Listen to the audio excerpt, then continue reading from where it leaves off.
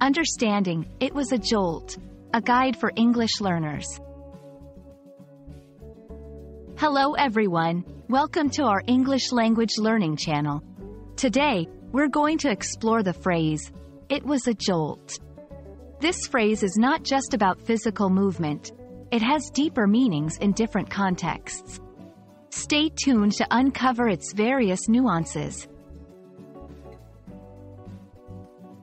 It was a jolt, literally refers to a sudden, sharp movement, like being shaken or bumped. Imagine you're sitting peacefully and someone bumps into your chair forcefully. That unexpected shake is what we call a jolt. It's quick and somewhat startling. Often, the phrase is used figuratively.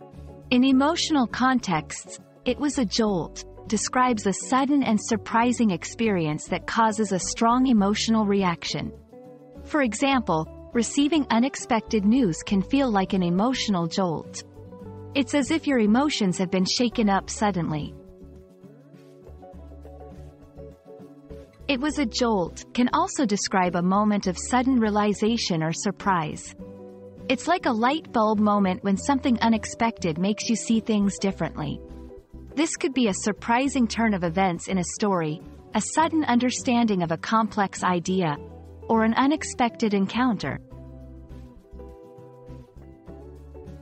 In everyday English, this phrase can pop up in various conversations.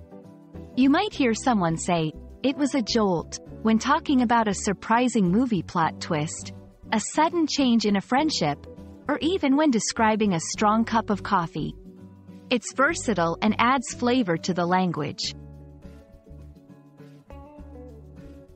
So, it was a jolt, is a phrase rich with meaning, whether literal or figurative. It's about suddenness, surprise, and sometimes, a shake-up of our emotions or thoughts.